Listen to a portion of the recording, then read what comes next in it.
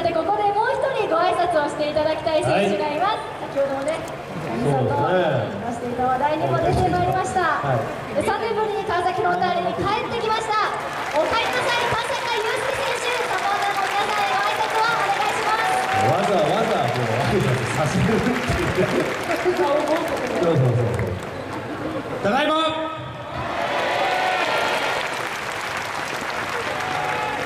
何も聞いてなかったんで本当何も用意してないんですけどなんか本当ここに来ると本当帰ってきたなって改めて思いますし、えーファンの皆さんに会えて本当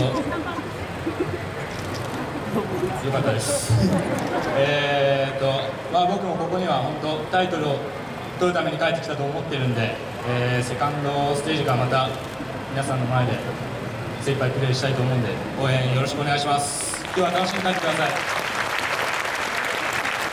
はい。ただ日本語覚えてましたね。